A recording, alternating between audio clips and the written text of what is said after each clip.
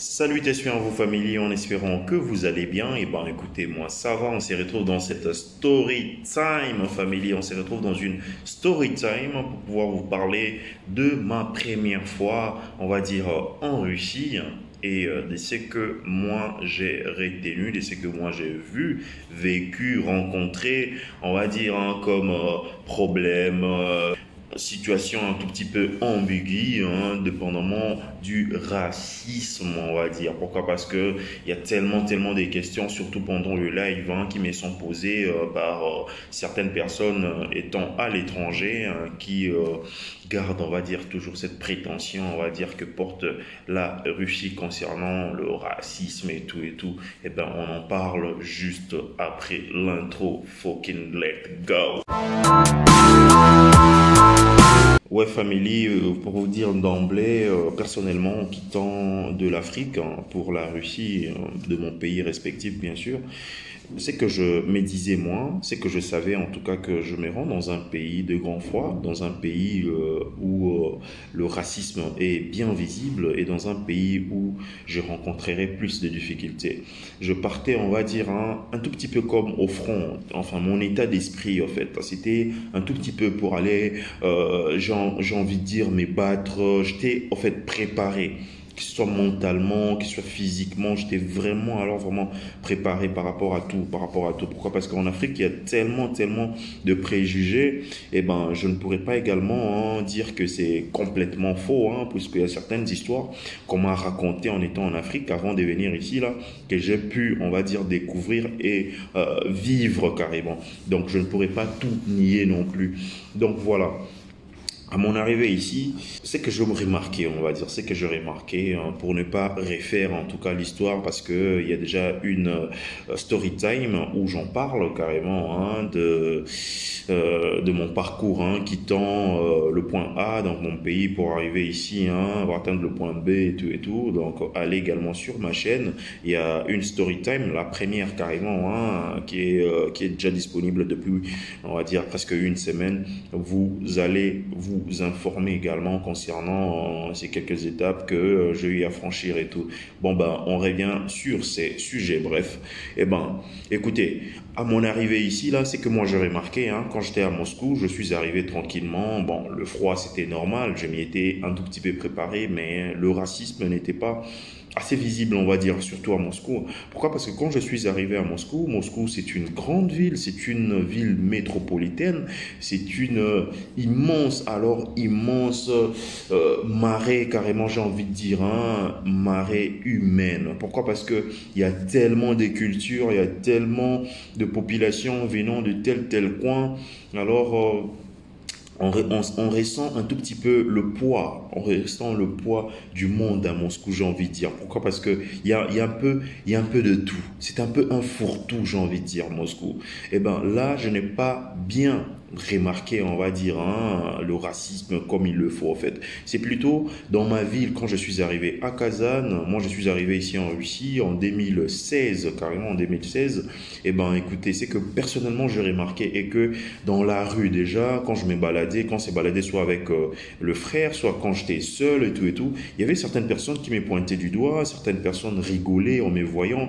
Je me posais la question, mais qu'est-ce que j'ai au fait? Est-ce euh, j'ai quelque chose, euh, on va dire, de pas correct, je suis de brailler, soit euh, hmm, ma tirette est ouverte. J'essaie un tout petit peu, on va dire, de vérifier à chaque fois si tout était OK chez moi, en fait. Pourquoi? Parce que j'ai ressenti ça, j'ai ressenti ça. Et dans le regard de certaines personnes, je lisais carrément une certaine haine carrément. Et cette haine-là était euh, en dépit, hein, en dépit euh, de, l'arrivée euh, de nos frères ici là, on va dire chaque année, hein, parce que il y a certaines personnes qui ont su développer ce que moi j'appelle la xénophobie carrément.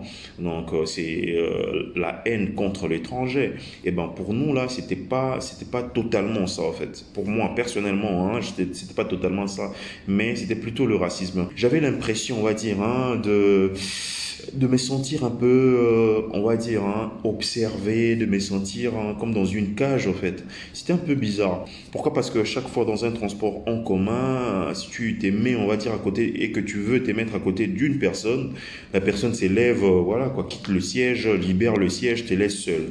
Soit si tu, elle te trouve déjà assis, on va dire, sur une place, hein, sur une place où il y a, y a pratiquement deux chaises, la personne ne prendra place jamais, alors jamais à côté de toi. bref, à côté d'un noir, bien sûr. C'est qui me, me faisait en fait mal un tout petit peu. Mais tellement que je, je m'y étais un tout petit peu préparé euh, par rapport, on va dire, à quelques réalités hein, dont euh, m'ont fait part hein, quelques amis qui étaient déjà ici pendant que moi j'étais en Afrique. Hein, je ne réalisais pas ça en fait. Je ne réalisais pas euh, l'intensité et puis la teneur également de, euh, de ces mépris surtout.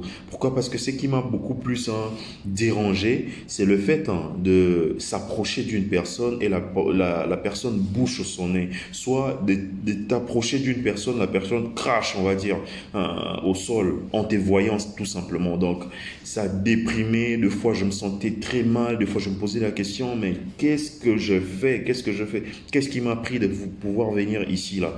Parce que j'étais député, j'étais dépassé, j'étais bailli de fois.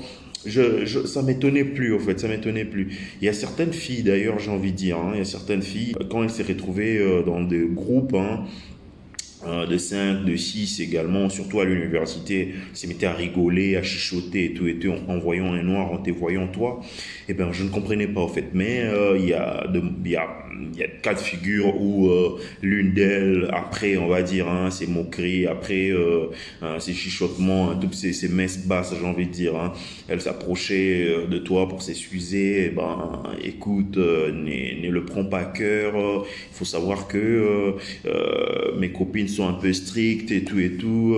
il faut relativiser, vivre normal. Moi, je t'aime bien. Et eh ben, je t'apprécie, nanani, nanana, pour te remonter en fait le moral.